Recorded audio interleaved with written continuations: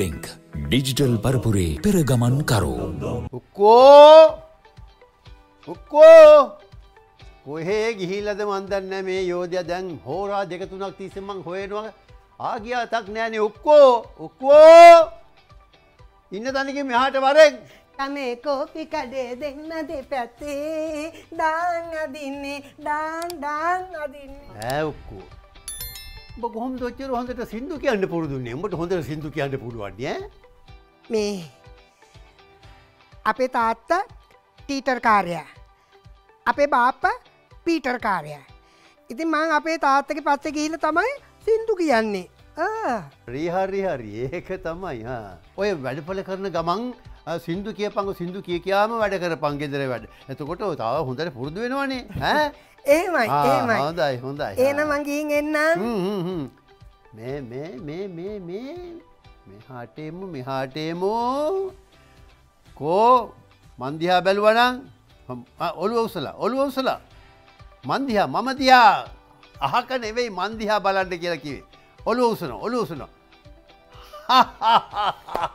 අපේ අපේ ජීවන් අඳුන් නැති මල්ලින මේ මට අඳුරගණ්ඩ බැරුව කියන්න මේ අපේ උක්කවාගේ ඇඳුම් ඇඳගන පොරඟපෑමක් කෙරුවේ නේද? පොඩි රඟපෑමකිරින් උක්වත් එක කතා කරගත්තා.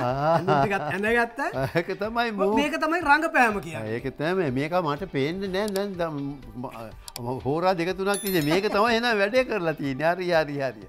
යන්නෙම් දක්නාසේ මා සිද්ගත්තා වූ ඒලාලනී යන්නෙම් දක්නාසේ මා සිද්ගත්තා වූ ඒලාලනී පායන සඳ ඇති මේ රාත්‍රී. පායන සඳ ඇති මේ රාත්‍රී. නිතුනිල් උපුලා සිකිපිල් වරලා නිතුනිල් උපුලා සිකිපිල් වරලා රූපශ්‍රියාවිය දක්නාසේ මා සිද්ගත්තා වූ ඒලාලනී තං දං තරනින නිං දං දනන්න නිං දං. තලල්ලල්ල නිං දං දං තරල්ල නිං දං දිනනින නිං දං. තරල්ලල්ලලං තලල්ලල්ලලං තලල්ලල්ලලං ගමනින් නාලිය වත සඳ සදෙසී වදනින් මාහද පුබූදන දිගැසී ගමනින් නාලිය. වත සඳ සදිසී වදනින් මාහද. පුබූදන දිගැසි මේ ලොව නෑවෙන අන්. ඇසම වූ අඟනන් මේ ලොව නෑවෙන අන්. ඇසම වූ අඟනන් රූපශ්‍රියාවිය දක්නාසේ මා සිද්ගත්තා වූ ඒලාලනී යන්නෙම් දක්නාසේ මා සිද්ගත්තා වූ ඒලාලනි ඒලාලනි ඒලාලනී තුම්මන් හන්දිය චිත්‍රපටයේ බොහොම ලස්සන ගීතයක් තමයි ගායනා කරන්න. මහිතන් රඟ පාමින් ගායනා කර. ඔව්. විජයරත්න වරකාගොඩ කියන්නේ හිටපු පොලිස් නිලධාරිය.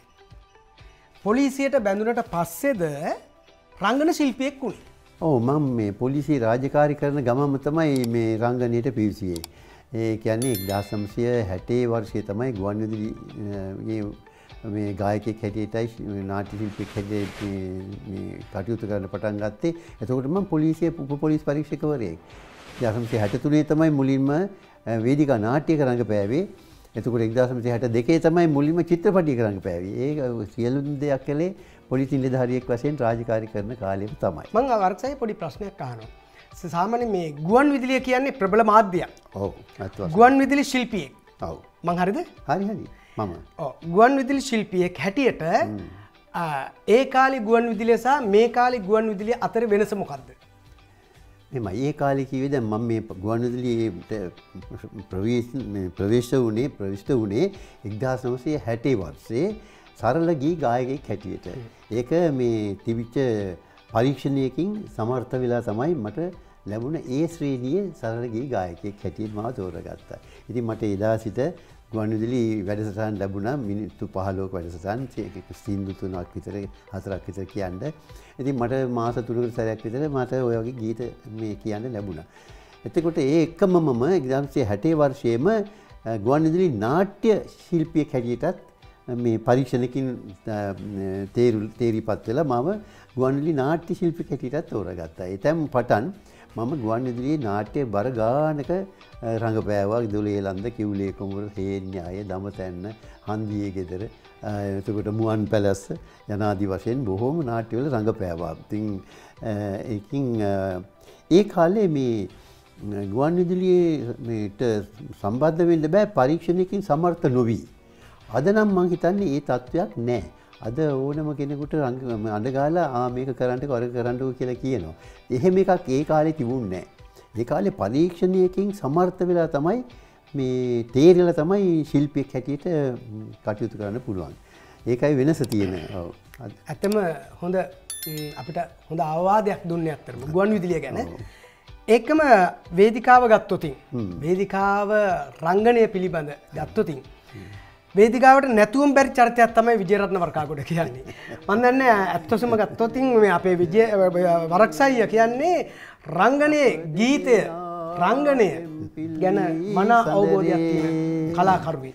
අන්න බලන් කුමරිය මනමේ තනිවී ඇත හිමගිරී අරණේ රඟහල දැන් ඇත අඩ අඳුරේ අප දෙදෙනා පෙම්පිල්ලි සඳරේ.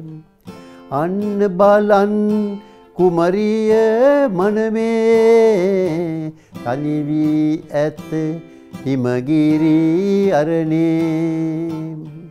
දිරියෙන් යුද කළ ඔබදුටු මොහොතේ මගේ හද ගැබ තුළ පිරුණයි ආලේ. නැතෙමුත් රජ සැප හිමගිරි ආරණේ ඔබ හැර මේ මටා නැත අන්සරණේ. අවසන් වසරේ සරසවියේ. ඔබේ අත අරගෙන හන්තානේ. කඳුපාමුල මහවැල්ලි සෙවනේ මනමේ කුමරිය ඔබද ලන්දේ වරක්සයියා වරක්සයියගේ ආදරණීය බිරිඳ ගැන කතා කරේ නැත්තම් පොඩි අඩුවක් තියෙනවා කියල මට දැනෙන. චිත්‍රක්කගේ රංගන දිවිය ගැන දැත්ත රංගන ශිල්පිනියක් හැටියට වරක්සය මොනෝද හිතන්නේ. ඕ මුලින්ම වේදිකා නාට්‍යවල රඟපෑවේ හෙන්රි ජාසේනයන්ගේ කුවේණි නාට්‍යයෙන් පටන් අරගෙන හෙන්රි ජාසේනගේ මහත්තයාගේ අපිට පුතේ මගක් නැතේ එතකොට දිරිය මාසායගේ දරුවෝ උණු අටේ කතාව මනරංජන වැඩ රජන යනාදී ඔය නාටි ගණනාවක ඇය රඟපෑවා.